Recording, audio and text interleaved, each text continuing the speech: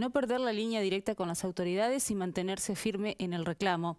Ese es a lo que aspiran los vecinalistas que continúan consolidando una red destinada a mejorar la seguridad en los barrios, siempre cerca de la realidad que le toca a cada uno.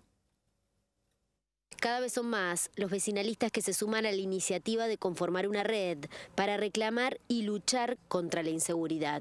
La tarea nuestra es de aunar esas características particulares de cada barrio en una estrategia común. Eh, podemos hablar un montón de cosas, pero sabemos que la falta de seguridad en los barrios es una responsabilidad fundamentalmente de la gente que, nos gobierna. Pero a su vez también nosotros ponemos nuestro granito de arena para eh, iniciar acciones que vamos a concretar hoy, vamos a charlar qué tipo de acciones vamos a llevar a cabo.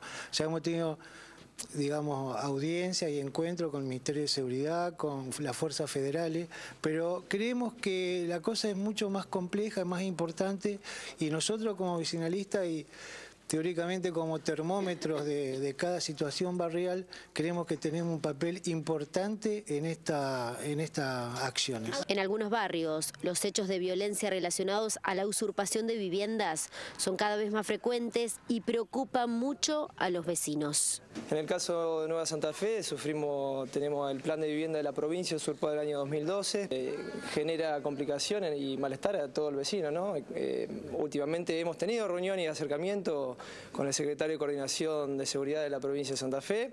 Eh, hemos tenido una segunda reunión, ya directamente desparramado lo que es por distrito y por cada zona vecinal.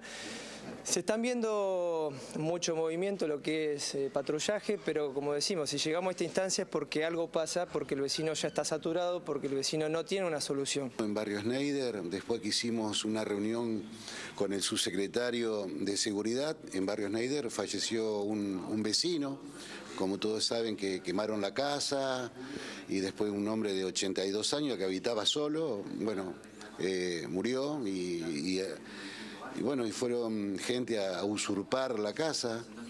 Eh, fuimos, en mi problema que hay en el barrio Schneider es la usurpación de terreno, pero ahora ya estamos viendo que es usurpación de casas, eh, con hechos violentos, como el que estaba contando recién.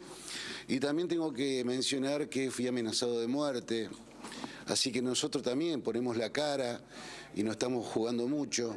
Eh, bueno, pero no vamos a bajar los brazos y queremos que la gente se sume, vecinales, eh, organizaciones, iglesia y, también las autoridades, que nos den una buena respuesta de una vez, no con promesas del más allá, del futuro. Queremos nosotros tener respuesta hoy.